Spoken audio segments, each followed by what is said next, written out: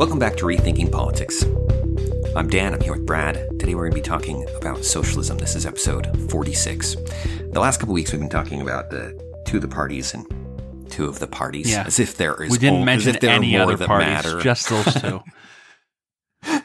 It- talking about those episodes made me more and more wish for the proportional representation idea, right? Where, where you're, you get a percentage of votes and then you get seats according to that percentage of votes. So that if you get 5% of the vote, boom, you get 5% of the seats. And then it actually matters. You could actually break the stranglehold of the two parties, but whatever. For now, we're talking socialism. And we're talking socialism because it's getting more and more popular. Needless to say, socialism has gained a lot of popularity young, among young people, and there's a very good reason for it. And the reason for it is, in many ways, it seems like the only viable option that's left, which is, I think, mostly conservatives' fault. I'm just going to come out and say it that that conservatives have done a very bad job over the past, definitely at least the past 20 years in explaining their ideas and even in understanding their own ideas and philosophies. The philosophy and ideas of conservatism have struggled, and because of that, it's left the door open for socialism among young people. A great example of that is is the idea of meritocracy, which we've talked about before. The idea that that the rich are rich because they worked hard, and the poor are poor because they chose to be, or because they were lazy, or because they didn't really try. And that it all comes down to personal responsibility in this world, and that's how you make it or break it. And that is the conservative line. That's the line that's touted again and again and again. And the older generations talk about how when they were young, they put in the work, they they they paid their way through college, they got a degree, and then they went to work for a business and and look at how well they're doing now. All these young people growing up in today's world, which is very different than, you know, the world 20, 30, 40 years ago, look around at people who are struggling and there seems to be no explanation for it. Look around at the opportunities they have and and where they've been pushed by societal expectations and how unrewarding their efforts have been in many cases and they say this does not seem at all like a meritocracy. This seems like it it seems arbitrary and it seems to be about based on so many other things that aren't about how smart I am, how hard I'm willing to work. So what other explanations are out there? And that's when you start looking and then that's where socialism comes in. I mean that's where the ideas behind socialism which, you know, which when it comes down to it are basically Marxist ideas about how the world works and how property works and starts to offer an explanation for why it's so hard for you today versus people in the past. Right. And you get, even to the degree that it seems to reflect a meritocracy, like no doubt, no doubt, someone who works hard, or, or rather, if I work hard, I will do better than if I don't work hard. That much is, is, is almost guaranteed to be true. It's not always true. Even then, it's possible that my efforts will be futile for various reasons. You know, maybe I get extremely sick and then none of it, none of it matters, right? None the, how, how hard, hard I could work doesn't, becomes irrelevant. But it takes just one person who, who has been told that personal responsibility is enough through and through. And then you meet the guy who has done all those things and is still failing. And there doesn't seem to be any help for him. There doesn't seem to be any answer for him. And that, for a lot of people, is enough to be like, the system as it is has a problem that is not being addressed. And where do you go? Where, what, what Mhm. would address that? As Brad said, it seems the only answer on the table is some kind of socialism. And, and the, another point with that meritocracy idea, there are many merits that people can have, many virtues that people can have, some of which seem to be rewarded, some of which, you know, in, in a general correlative sense, like hard work, hard work is rewarded at least to a degree. There is a, certainly a correlation between hard work and success. But what about other things? Mhm. Uh, I think mostly of artists. There's a lot of films and things about this, about the struggling artist who gets nothing. And, and the uh, the people who are following their their passions and their talents or whatever, and it's it, it's not profitable at all. Mhm, Right? They're mhm. working hard at it. They're doing the things that they think they they they should do. They've got the right credentials. They've they've gone through the steps that they were told to go through, and they end up at dead ends. And artists, I think, is a great example because in in any type of art, you've got a tiny, tiny, tiny fraction who are making a lot of money and are very successful and are well known. And then you have millions of people who are making nothing. hmm Yeah. And there's very little in between. There's almost nothing in between. You've either made it and you're at the top and you're well known, or you haven't and you're making nothing. Um, you know, virtually nothing. And often literally nothing. And in many cases, then those who are who are at the top make making their millions versus those who are making nothing or next to nothing have worked the same amount. You know, there, there you can Mhm. of for every ten people who have made it, you can find a hundred who've worked just as hard as them, and you can argue have just as much talent Right. but who for whatever reason were not discovered or didn't have that breakthrough moment and so therefore are left behind and so you can't say okay this is you know this is a meritocracy when you have those 100 who haven't made it and it's not for lack of effort on their part or lack of skill or lack of training or lack of anything beyond what appears to be either luck or connections Yes. Yeah. A market is not a meritocracy. It's not. It never was. It never will be. You look at, you look at like the, the NBA, right? The NBA is the peak of basketball in the world. And there you could say there's something of a meritocracy along one dimension, mhm the skill at basketball. And it's not always fair, but it's, it's pretty good. But in terms of like a meritocracy that could assess an entire person and determine whether you deserve success in life or failure in life. There just isn't one.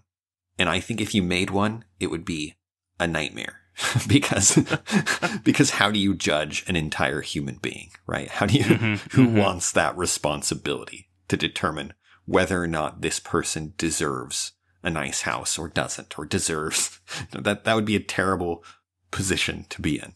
I don't think anyone is fit to make that call. But where we want to go with this is is that you reach this point where you see this system that's supposed to be the best system and you see these people who are struggling, you see these people who are disadvantaged, and then you see those who are succeeding and you ask the question, why is one group doing well while the other group is doing bad? And socialism and Marxism have an answer for you. They say the answer is property. That those who already have property have the advantage and that that advantage is inherently unjust. And when you're looking at it from the sense of a meritocracy, what they're saying makes sense. You know what I mean? If your parents have wealth, you are in a better position to succeed. If you know people who are wealthy, who have these connections, who are powerful, you are more likely to succeed than those who don't. And so that's where we get into socialism. And that's why socialism becomes such a such an appealing option. It is an appealing option. And it's a it's an appealing option that comes in part because, as Brad was saying, that the idea that conservatives push of, of a meritocracy and the idea that comes out of the dichotomy we've mentioned in our last two episodes, where you have Republicans against government supporting businesses, and they do so indiscriminately. They don't note the connections that we mentioned last time where businesses and government work together. They- They're aware of some corporate crime, but it's at a, but it's at a very particular level and in very particular ways. And they don't realize some of the systemic things that they've created that make businesses a certain way rather than other ways that are shaped by laws rather than shaped by markets. And all of these have led them to hold up something of a, I would say it's a straw man if it weren't actually their position. But, but it's a straw man of the much better position, of the much better, well thought out ideas that they, as Brad indicated, haven't studied and haven't understood and haven't defended. And in part because they haven't, they're, they drift from those principles and they, in more and more act directly contrary to them. And all of that gives the person who is compassionate and who is looking at these things reasons to, to join with the only faction they can find who seems to have an answer to these problems. Which brings us back to this rising tide of socialism. And and by the way, I, I may use socialism, Marxism, communism a little bit interchangeably here, and that may be a bit confusing. So so Karl Marx came up with his key idea that property is theft. And from that idea was born many ideas. And modern day socialism is based on Marxism. Modern day communism is also based on Marxism. And so, really, when I'm talking about socialism here, what I'm talking about is Marxism. And communism, if you look it up, you know, in the dictionaries, is going to have a different definition than socialism. And th- there is a difference, and how you use it does have an effect. But, but in terms of how the economic systems work, we're talking about the same thing. The difference between communism and socialism is that socialism is an economic theory. Communism is a complete political theory that includes the economic theory of socialism. So what I'm talking about here is the economic theory. I'm not talking about whether or not the proletariat should overthrow the bourgeoisie or anything like that. I'm just talking about the economic theories behind communism, which is socialism and or Marxism. But Karl Marx comes up with his key idea that property is theft.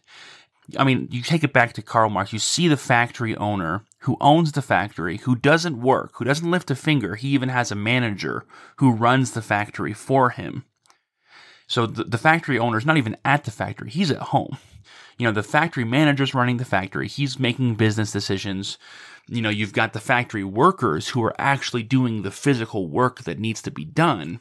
And then the factory owner walks away with the biggest cut of the profits. The workers make the least, then the factory manager makes a little bit more, and then the factory owner takes the lion's share. And he looks at this and says, okay, who here is working? Who here is doing something productive with their lives? And then who here is sitting on their butt? Therefore, property is theft.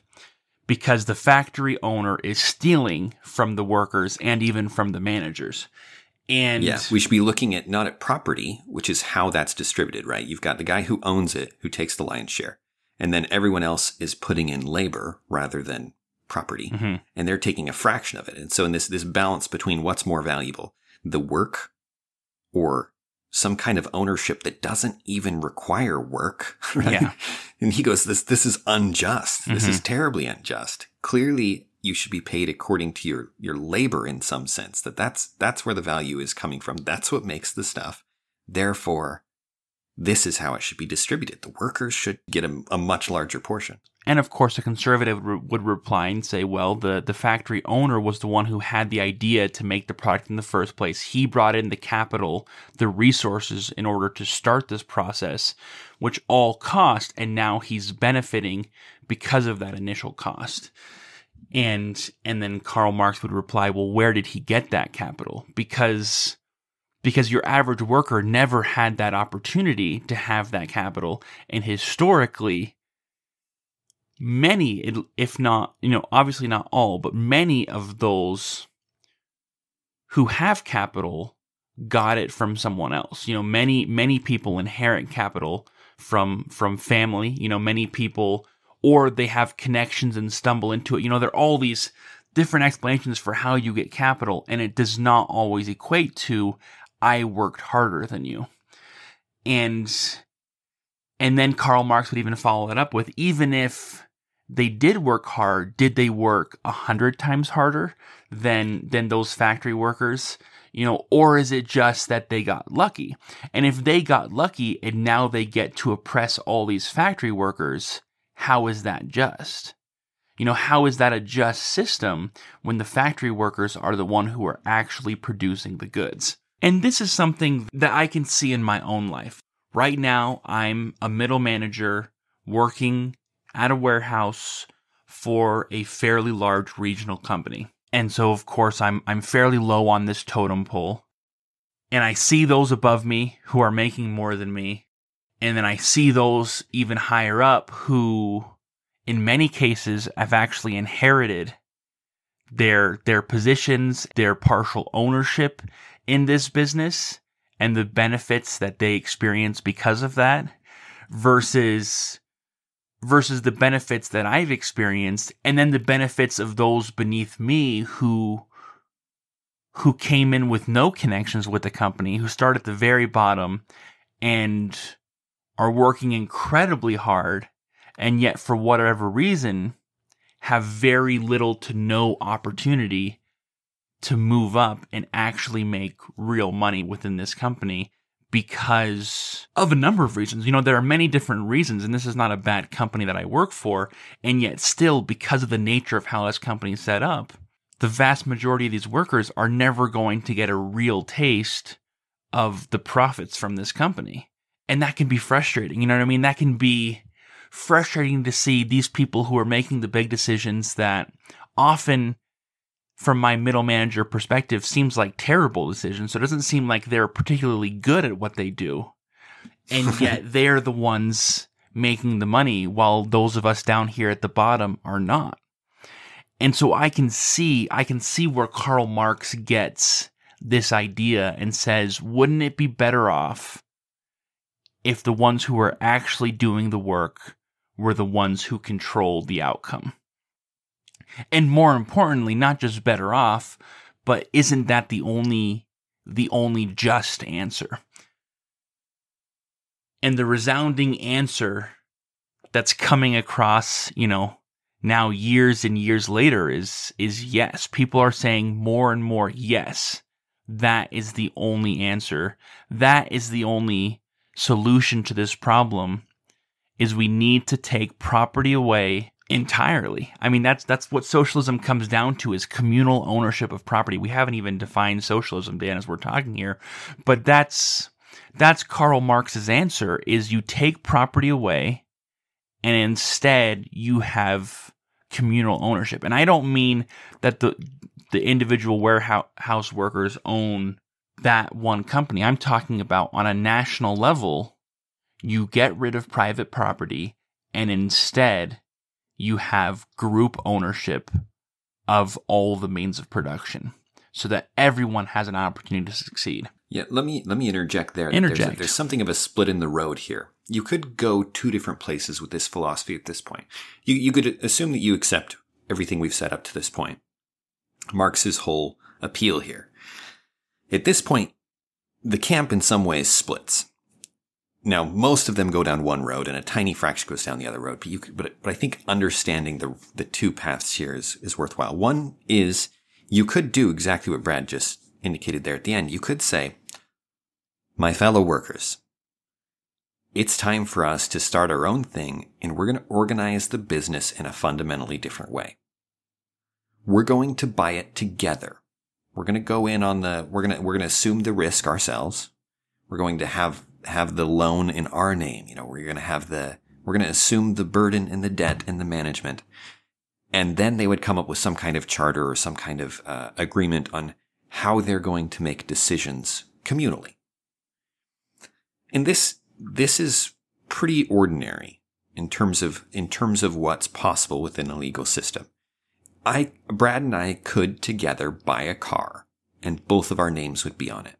We could put both our names on the registration and it would be in, and we would then have to work out how it's going to, mm-hmm. to work. This is, I guess, you know, in a lot of ways, this is basically what a family does, right? Mm-hmm. you all own this together and you have to work out some system that, that keeps everybody more or less happy and how that, how things are going to play out. That is not socialism.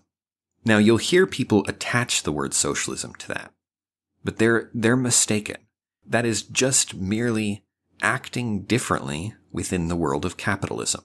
These people are free to do whatever they please with the property. If they want to own it together and make decisions, that's just another form of that capitalism allows, right? You don't have to change any laws in, to do that. In fact, there are businesses that are owned that way.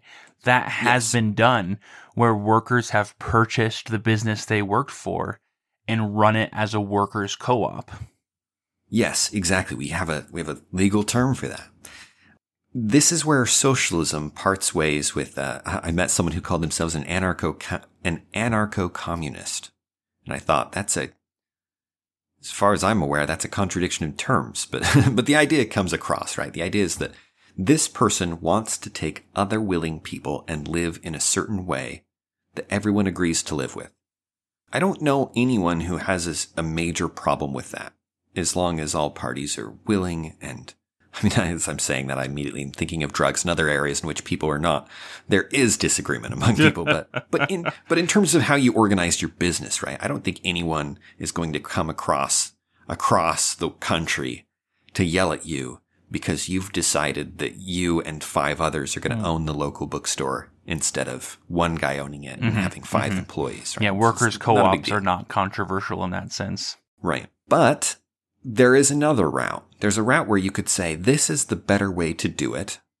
And so what we need is for society, through the force of government, to assume all control of these institutions. And this is what happens on a smaller scale when you nationalize an industry. This is what happened in China, obviously, but but even in other cases, people describe fascist countries. One of the one of the hallmarks of fascism is socialism. people don't seem to they don't connect those, but they Hitler and company immediately nationalized many industries, meaning they socialize them. Yeah. the words actually, and that used that way, the words mean the exact same thing. Truly. They became common property, owned by society, and functioned differently, and the profits were used differently and, and went to the government. And, and so socialism at its heart, as we're using it here, and as I think it is, its history and origin demands, requires government intervention to do it. it this is that's how society owns anything. This is not like mm-hmm. your family getting together to work something out. This is the state owns it and you participate in that ownership through your participation in the state. Mm-hmm. Because there's simply no other way. There's no other right. way to have that kind of group ownership without some kind of some kind of government. It's never right. it's never happened historically and and there's never been an a reasonable case made for how it could could exist. Right. The bookstore co-op works because those people could leave if they wanted to at any moment. They could they can come and go as they please. But if you're going to do it with all of society, there are going to be a lot of people who disagree, and that has to be imposed on them. That has mm-hmm. to be mm-hmm. you have to have a state. Which brings me to one point that I am completely fine with co-ops. However you want to organize your business. Now I think there are better ways and there are and there are some, there are some ways that'll be less effective than others. And depending on the size of the group and those kind of things, I think that rapidly becomes a, a bad idea if it's a very large group. Mm-hmm.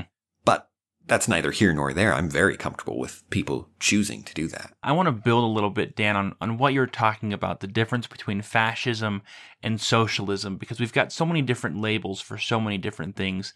And these labels are really important because fascism is really just the far right, while socialism is the far left. And that's the important distinction between them, which of course makes no sense because you can't have right. the defining characteristic of a thing being its rightness or its leftness. Right. The common usage of those terms is terrible. So inconsistent. Is truly terrible because as as you said, I mean the the one argument is that fascism is the business owning the government while socialism is the government owning the businesses.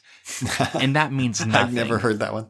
That does mean nothing. That, that, I, I, haven't I've never heard it put that clearly. But that, that's that that's the fundamental difference. If you if yeah. you break it down, it's supposed to be that. But that's that only makes sense in a world where the Republicans and de- where either the Republicans or Democrats are right. That either business is purely good and government's purely evil, or or the opposite. Yes, because only in that world would that distinction make any sense. Because really, if that's your definition, then fascism is just corrupted socialism because fascism is still socialism because it's still government control of all the institutions. The difference is you have a revolving door so that those institutions still maintain control. And of course, that's, that's a very real problem with socialism because right now, all these young people look out and they see the system and they see the power that they don't have and they see the obstacles that are in their path and they say the government needs to remove these obstacles through socialism. The problem is is that so many of these obstacles are already there because of government action and in many cases instituted by businesses. But the problem is, is that the businesses already have a strong hold over the government. You know what I mean? You're, you're upset with, with Jeff Bezos for all of the power and money that he gets from Amazon, but you're not upset with the government for all of the favors that they continually give to Jeff Bezos, including a what was it a ten billion dollar contract recently for his attempts to for his space company. I believe so. I believe so. And here I'm not even arguing from from the the principle side, just from the practical side.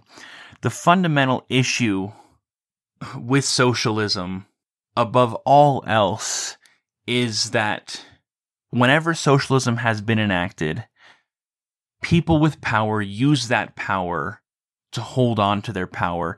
And people with power already have connections with the government in order to maintain that power. Countless examples of this time and time again when you have these these socialist revolutions. You look at you look at communist China, you look at fascist Germany, you look at socialist Russia, you know, three governments, I mean, socialist USSR, I mean, Russia as it was then, these three governments that instituted large amounts of government control over the means of production. And you look at how people existed during that time. And during that time, when the government controlled the means of production, there was still the haves and the have nots. There were still a group of elites who were powerful and rich, and then there were those who were not. In each of those cases, I've yet to mm-hmm. see mm-hmm. a socialist government that wasn't set up that way. Look at I mean, you can. That didn't have a clear hierarchy yeah, of power. Yeah, I mean, you can look at North Korea right now, and that's exactly how it's set up, where you have a class system for those who are rich and then those who are not. It's former businessmen who get placed at the bottom indefinitely in North Korea. But that's but that doesn't change the reality that that now there is a new class system. Mm-hmm. Yeah, there is still a still an order of classes. And, and this should make perfect sense because if let, us pretend for a second you could equalize property completely in some way. I don't I don't know how you would do that, but if you could, so that that everyone has the same access to property, at that point you you may have nullified the differences in property, but you do that by amplifying the differences in social skills. Someone someone more persuasive now is less limited by property their power in terms of what they can accomplish is amplified by the fact that property is no longer a barrier. Where you eliminate a hierarchy on one dimension, you amplify the hierarchy along other dimensions. When a country becomes socialist, what happens is, as Dan was saying, instead of it being business people who are at the top, it's people who are good at the game of politics. People, depending on mm-hmm. whatever the political system is, because in each case it's different. But whatever yeah. that political system is, the people who are good at working within that system are those who succeed, and the people who are bad at working within that system are those who fail. It does not. It becomes a a twisted meritocracy, but not a meritocracy that's based on legitimate merit, but rather based off of this one particular instance, this one particular yeah. set of skills, as it were. Right, right. And, and contrast that with the market. This is the this is the virtue of the market. However you succeeded, uh, maybe you inherited it and you had perfect opportunities, or maybe it was just good luck, whatever it was. As you are elevated to the top of the hierarchy in a market. It's because people are willingly giving you money because they want what you're offering, which is to say that you are elevated as you make other people's lives better. That may be a game in some sense, but it's a good game. Yeah. Uh huh. it allows people to prosper by benefiting other people. The outcome of that is the prosperity that we see where I have done nothing. I've invented nothing. I've created nothing of, of supreme value, but I'm more prosperous than than a king would have been a hundred years ago. I've, I've more, more stuff, more opportunities, more education, more, all kinds of things. And all of that is as a result of allowing a system where to get to the top, you must benefit everyone else. And to the degree that, that the market stops doing that, you can see where it's corrupted.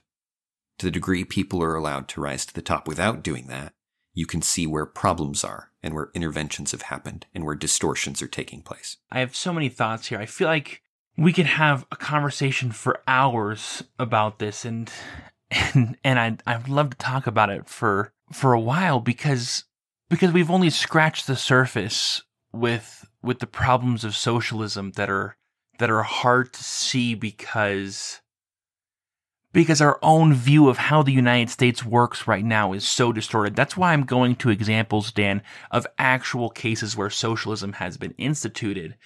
Because our current system is so convoluted, is so distorted that it's just it's just weird. You know, um people talk about how our our medical system is so broken, right? And this is an example of how the free market in the United States has failed.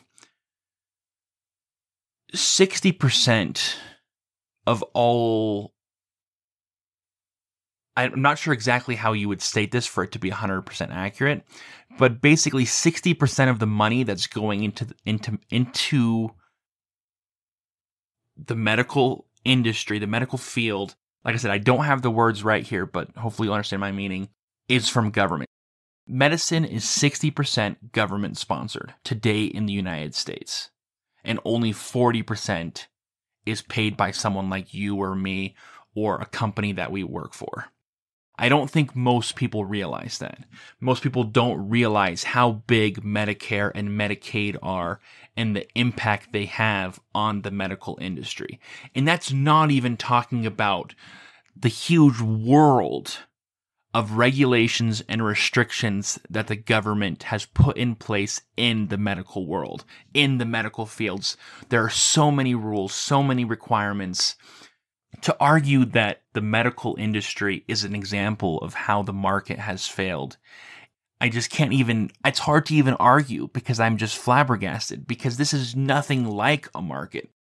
People talk about how how can you live in the United States where people will die because they can't get medical treatment? And I say every public hospital in the United States is required by law to treat you even if you don't have insurance. Right. Right now if if they treat you and then ask for money. Yeah, and then ask for money and if you can't pay it there are laws in place to protect you.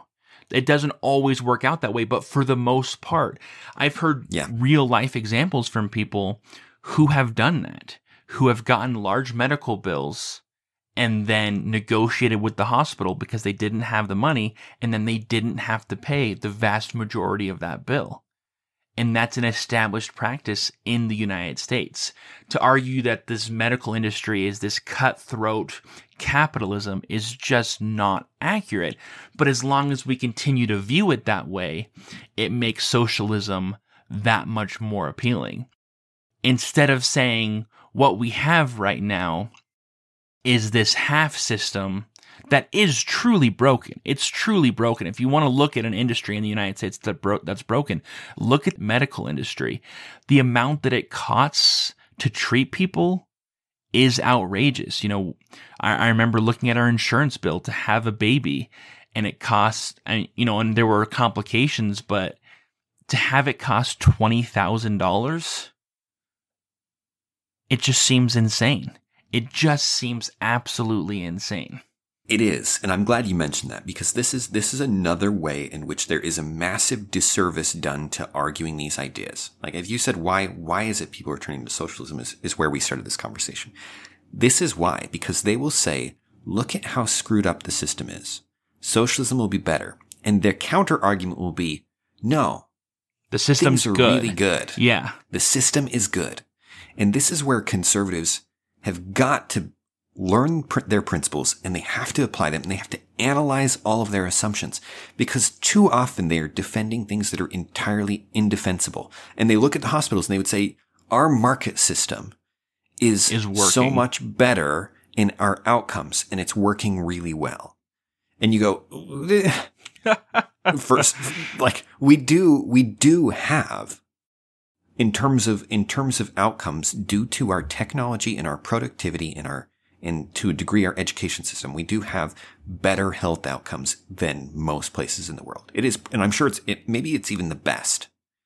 That does not prove anything regarding how messed up it is, right? that, that, that proves that the market in the United States has worked and is amazing at some level. But that's in spite of all kinds of crap. That's in mm-hmm. spite of so much garbage that is clearly messed up and, and so much stuff that I, don't think you can defend it. As you said, at, at that price, you probably could get that healthcare just about anywhere because you could afford to hire the best doctor in the entire country mm-hmm. to deliver your baby and to deal with. Yeah, if you if you took anything. twenty grand somewhere else, what you could do with it would be fantastic. No, right. How much are doctors making? Because because honestly, twenty grand for what a week? I yeah, will give you twenty grand. You give me a week's of your time. Who who's turn, who's turning that down? in in some of these countries where where that would be a fortune by itself, let alone in over a week. But anyway, we digress. But that that's that is the vision people hold up. They hold up America now versus socialist countries, and not only not only socialist countries. We've been talking specifically about countries like Russia and China and and uh, uh, Nazi Germany because because they they embraced socialism wide scale. Because, Dan, they bring up European countries as socialist utopias, and they're countries that are not socialist.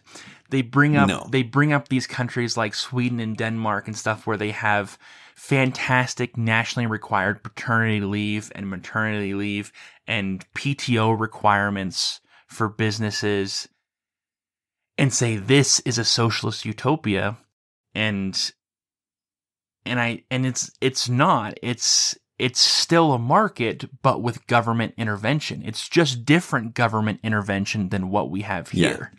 we have so we have in many cases more government intervention in the market in the United States yes. than these countries.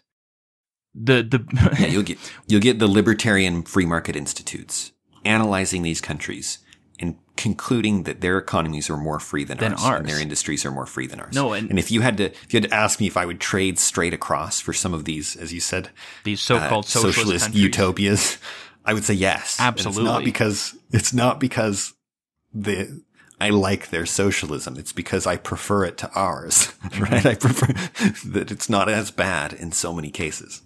No, and and it's true when when I see people today who talk about how how you know we have these trillions of dollars of of stimulus that that went to all these random little groups and benefited all these people and yet the conservatives refuse to give an extra $600 to regular people i say yeah that is messed up it is messed up that our government interferes in so many different ways and yet, in all that interference, they can't seem to help people in reasonable ways that these other countries do. You know what I mean? it's insane that our government can spend more money on medicine than countries like Australia does, even though Australia has socialized medicine. You know what I mean? Australia yeah, can mm-hmm. pay for every person in Australia to have free healthcare for less per capita than the US spends. You know what I mean? And yes. not have free healthcare. That's an yes, example of how broken our system is. And you get this in part because of the, there are a lot, often, especially compared to the European uh, socialist paradises, quotes, uh, they are, we overregulate to a massive degree. They do not have near the regulations we have. They don't have near the licensure requirements. They don't have near the you know, and at the level of how do you get things started and how do you get people to, and pay them to do this work and such, uh, they are much freer than we are. They have much fewer restrictions. And part of it is that we have really systematized handouts to special interests in mm-hmm. a way that is, mm-hmm. that is just that that deserves a pat on the back. It's it is amazing. Like uh, we have we have turned it into a fine art. How do we get small amounts of money from everybody in the country to go to a handful of individuals in every single industry, we've, we have turned this into an art form. The, the, the, the earmarks and the, the, uh, special interest payouts are truly astounding and they come from both parties and the, the numbers that they add up to are insane. And, and Dan, you're absolutely right because when it comes down to it, you know, we keep talking about the market and and it's the market is not some supernatural force. The market is not some mystical thing that we mar- worship. The market is simply allowing people to produce and to trade. Those two things fundamentally is what the market is because that's how as Dan said, the world has progressed in the last hundred years is people are allowed to make things and they're allowed to trade those things with others. And that has what has allowed everything that we enjoy today. And and to see that, to see all that growth, but then to see all the problems we have today, and to say the solution is is to keep all of the government interference that we have today, but then get rid of that last shred of market is to completely miss the mark, is to completely miss the reality of what's going on because we're we're completely talking over each other here. And by we I'm saying us as as libertarians, as those who are in favor of of allowing people to live and and liberals who believe in socialism I feel like we could be on the same page so easily if we could just actually understand what we're talking about. Because in many cases the words we're using are not accurately describing what's happening and that's the fundamental problem. It is a fundamental problem and i think i think part of it comes Uh, there, there, are, there are so many directions we could go with this. And we will definitely have to revisit this topic because of that. But I, w- I want to point out two things that for socialism to work, when once you have communal ownership at the state level, the state determines exchanges. It negotiates exchanges. And there is a big difference between me trying to make my life better. And so I try and figure out what I can make or what I can do and I trade that for currency or goods. And a group of people doing it at a societal level. You do not get the same exchanges. You don't, you don't get individual actors. You don't get what you were talking about with the market. You don't get people producing and people exchanging. What you get is a state dictating what happens. And that means where in a market, you can act to make your life and the lives of those around you better. In a socialist society, you can vote, but everybody is voting and everybody's voting to make their life better. well, in a socialist society, you have whatever means of influencing the state available to you to make your life better. mm-hmm. But it always comes at the expense of other people. because basically what you're saying dan is that when it comes to if everyone is deciding how things get distributed, well, everyone wants everything for themselves. Not everything in the sense that they want everything, but they want what's best for themselves. They want as much as possible so that they can thrive. It's just natural human it's just it's just human nature to want to thrive. And so obviously if everyone truly has an equal vote, then everything gets equally distributed. But naturally, what's going to happen is some people are going to be better at arguing for their needs than others, and those are the ones who are going to get more. Is that? But the key, the key, Dan, is that when government controls the means of production, when government controls who can trade with who, the natural result is a breakdown in productivity and a breakdown in the market, in trade, because it's just not possible for the government to decide the most optimal usage of 300 million people in what they cho- what they're going to do every day in order to benefit society. There is no AI that can handle that today. There is no group of people who can figure it out. Right now, the only reason markets work is because you have the brain power of 300 million people operating using their own self interest as a motivator to produce as much as possible.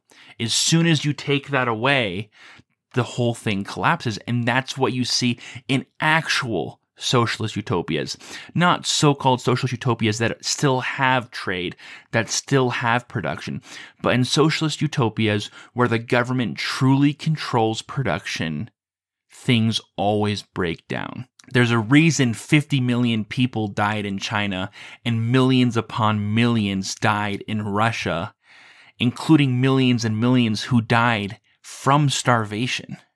That's not a good track record.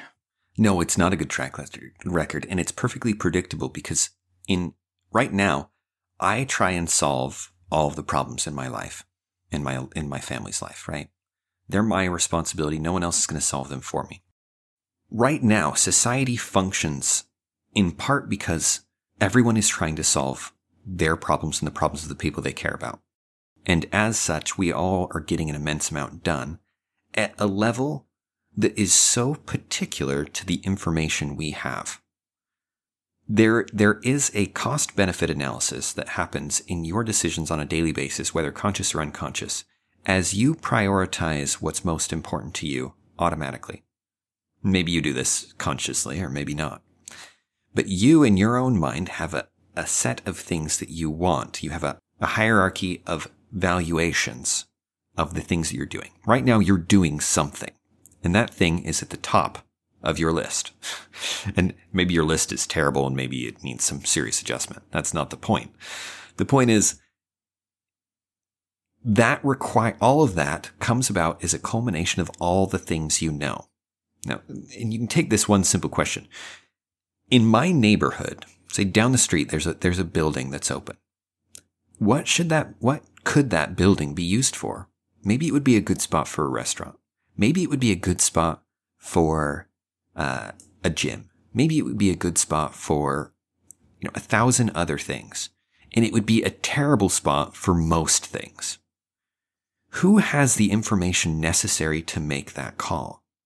It's going to be someone who cares a lot about it for a variety of reasons, who has a, who happens to run a gym and have seen similar areas, who happens to have an uh, an enormous amount of extremely particular information about this place and about a particular industry. You cannot centralize that. That cannot be centralized. That cannot be dictated from on high. That cannot be a decision made by a committee of people who do not all have that information that must be made by an individual who says, I know and I will take the risk. In fact, Dan, I would take it one step farther. I would say it would be near impossible for that committee to even figure out who that person is, who the right person right. to run that business is. I look at businesses all the time and I say, who the crap came up with this? Who was sitting there who and pitched was this like, idea? Yeah. this is what's needed. Even though it's wildly successful, I would have never dreamed that that was a possibility. And yet a here fidget we spinner. are. Yeah, no kidding. What on earth? Who thought that was a good idea? Whoever it was was obviously knew more about it than I did, right? They were, they were, they were absolutely right. Uh, Toad singing Chandelier on YouTube. Who thought that was necessary? But clearly it was. that? But clearly, clearly, that was a thing we needed.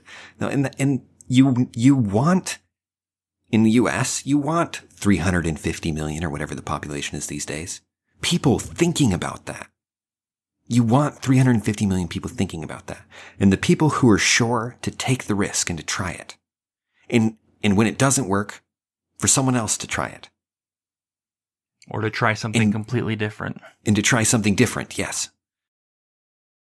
That's, that's what a market can bring that social decisions and ownership of, of other things can't.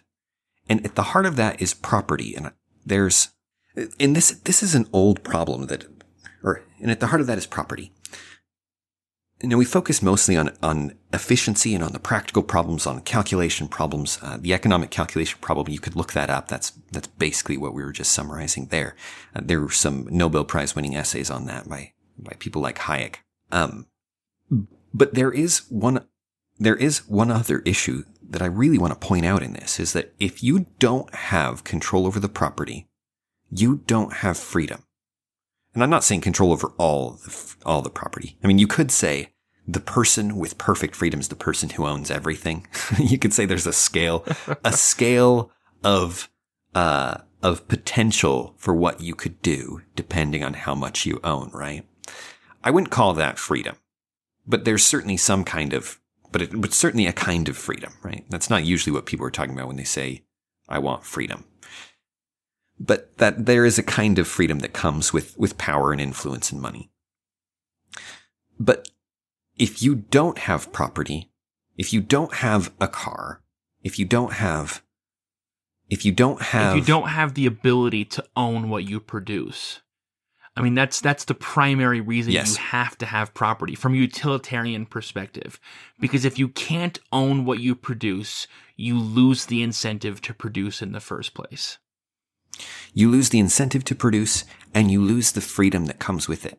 Your freedom is directly tied to things in a way that, eh, of course, you, you may have autonomy of your, your body and mind. And you could say that's separate in some sense from, from control over stuff. And it is. You could draw a line there. But would you say you have freedom if you have control of your body and your mind, but you do not ever get to decide what happens with a thing? You don't get to decide anything about clothes. You don't get to decide anything about food. You don't get to decide anything about transportation. You don't get to decide anything about stuff. The point at which your body and your mind engages with the world is at the point of stuff. Mm-hmm. Mm-hmm. And if your freedom doesn't extend to control over stuff, you have no freedom. You have no freedom. Yeah, you want to be an artist? You don't. Yeah, you want to be an artist? Great. You need access to stuff. You need, you need to be able to decide what you're going to put on that canvas and at least attempt it. And without that, you have nothing. No, You can be nothing. A great example of that, Dan, is there are there are large tracts of basically unexplored wilderness where you can go days without meeting another human being. And technically that land is owned by the government and you can't build stuff there. You can't do a lot of things there. But at any point, you can leave the world and go live there. At any point. Right. And If- you, can, and you could build stuff and no one would find you. yeah, but I mean, but I mean, assuming that stuff Yeah. doesn't matter, you know, assuming that stuff doesn't matter, you can run naked through the woods foraging for berries for the rest of your natural life, and no one will stop you. You know what I mean? No, I'm saying if stuff is if, if all that matters right, is yeah. your ability to Yeah. move and your Yeah. ability to just be yourself, you could do that, and in basically anywhere. the The fundamental issue when we talk about freedom, when we talk about government, we talk about all these things, is about stuff because without stuff, that's all that's left is is running naked through the forest foraging for berries. I I think of uh, Locke. John Locke was a, an interesting fellow. In uh in some ways, I think he's the epitome of several bad ideas, but he's also the heart of several very good ideas. So I have mixed feelings about him, and I've read and written quite a bit about him. He uh, Locke was looking at a particular problem, and this is, I think, an interesting philosophical exercise to put yourself in his shoes. He's looking at the monarchies, and he's looking at the the. He's convinced that it's wrong to do bad things to people and that the state can't have that authority. The king can't just decapitate people on a whim. There, that's wrong. So where is the line? How do you draw the line around moral action with other people? And he's looking at the claims that people have for the, you know, the king is divine, has some kind of divine authority. And he's like, that's obviously a scriptural and, and a, and immoral. and he, he's trying to draw the line. So you could say, uh, yes, obviously you can't go just stick a knife in somebody. Right? That would that clearly crosses the line. I think everybody listening to this would agree. Um, there may be special circumstances where an execution may be warranted or self-defense or those kind of things, but in in general, you don't just go stick knives in people. But at what level does that stop? They have they have some control over their body, okay. Some control over their thoughts, okay. They have some control over over their words, okay. Do we grant them some control over the world around them through the fruits of their labor, through through property? Well, if you don't, the rest of it doesn't really matter. Because if I can come and take the food out of your hand and eat it at any time, your life, your very life, your very existence depends on others. You are not independent. You are Mhm. not a person. You're some part of a whole or you're some ant and it's just a part of the, the hive or whatever it may be. You're, you are not a human being. So where is the line on property? There must be some property unless you accept that, that people can come take the food off, come grab your fork and eat the food themselves. And there's nothing wrong with that.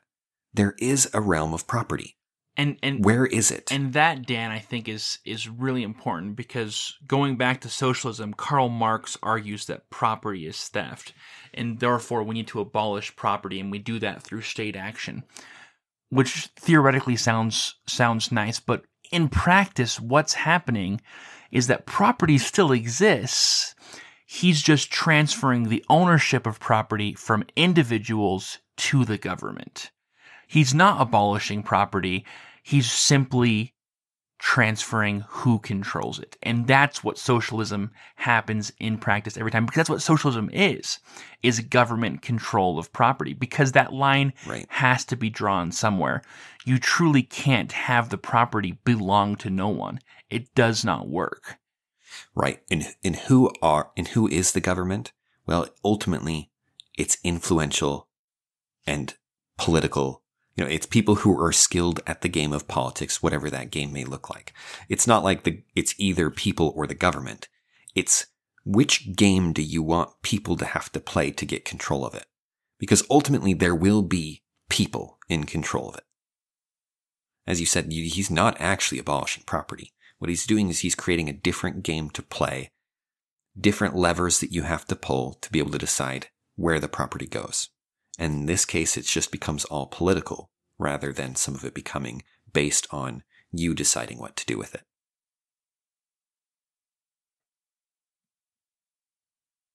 And unless you think you're going to be at the top of that stack, this is one of the this is one of the things that people don't realize. The utopia, people like uh, the the political, the constant threats. Uh, no, that's it it's alley. I don't want to go down. Yeah. This this leaves us at a it it's something of a strange place and something of a of a mental cliffhanger in terms of of philosophy. Because if you if you accept that there is some property and that that property that at that level you need the consent of the people, this is where we get into the basic idea of democracy and liberalism. Not liberalism as it is today, but liberalism broadly. Uh, liber- the kind of liberalism that, that people like John Locke helped create and helped start.